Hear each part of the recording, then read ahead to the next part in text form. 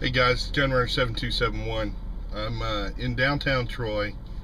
I've been to two different farmers markets. One was kind of lame. I did pick up some corn, um, a dozen ears of corn for a barbecue that we're having tomorrow.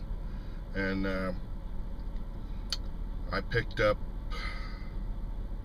I forget what else at the, the smaller one. But there is one in downtown Troy from Saturday, on Saturday mornings from 9 a.m. to noon that has approximately 30 vendors. Considering Troy's less than 30,000 people, that's not too bad. And some of the vendors were coming in as from as far away as Bellefontaine, which is about 40 miles away. So this is kind of a big deal for them, I guess. And, and it was packed. So I bought, uh, I don't know, the one, the smaller one was definitely more expensive. Uh, they wanted a dollar a piece for the zucchini and uh, it was kind of on the small side. The zucchini I ended up getting was from the bigger market and it was two for a dollar. So if you don't have a garden, it's going to cost you.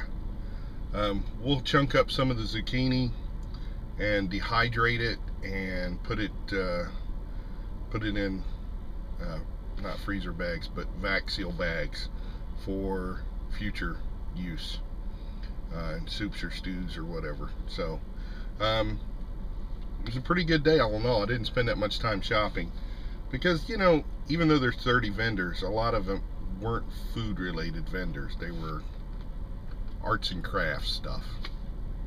So you can move pretty quickly um, if that's if you're not into that sort of stuff. All right, well, um, this is my report from the Miami County Farmers Markets. Um, I guess we're going to try to hit the Covington one and the Tipp City one next weekend.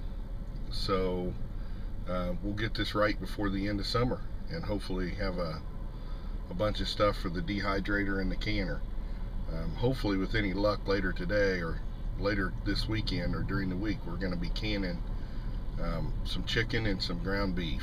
So hey, stay tuned, stay prepped. Bye.